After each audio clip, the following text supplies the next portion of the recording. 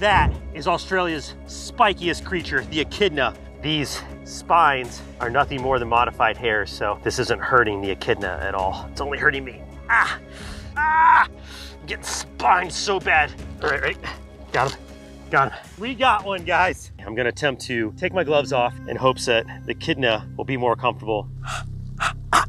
Ah!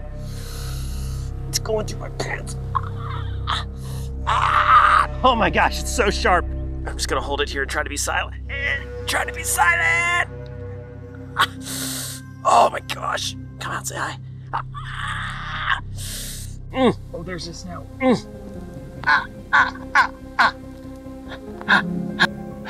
Hi. Hi. How are you? I'm not doing good. I hope you're doing well, though. That is the beak of the echidna. Ah, you little spike ball.